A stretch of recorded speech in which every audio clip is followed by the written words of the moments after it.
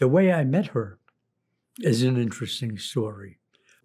I went to work as a counselor at a summer camp. I also knew this blonde who was also a counselor, and we became friends.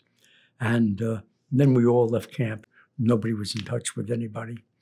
But one day, I'm driving down Madison Avenue because I used to drive to work every day. And now I'm fairly successful. I'm an art director of a large PR firm. And there is this blonde in a bright red convertible, and she's going uptown. So this whole thing only takes a few seconds. But as I, I'm feeling pretty good about myself, I've got a con- convertible, and as I pass by with the top down, her top is down, I say, "Hey, how you doing? You're looking great." And she says to me, "You're looking great, also, boy." You, you look terrific. I'm saying, boy, she gave me such a big friendly hello. I'm going to make a U turn and follow her. And I couldn't, traffic being what it was.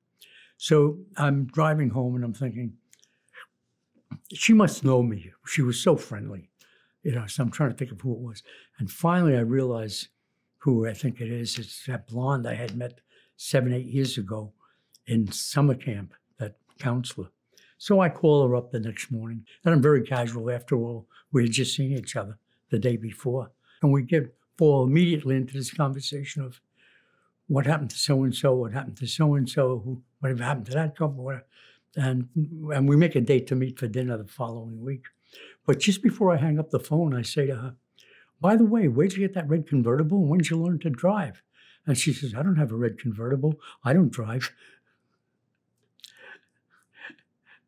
Anyway, that was the start of the, that relationship.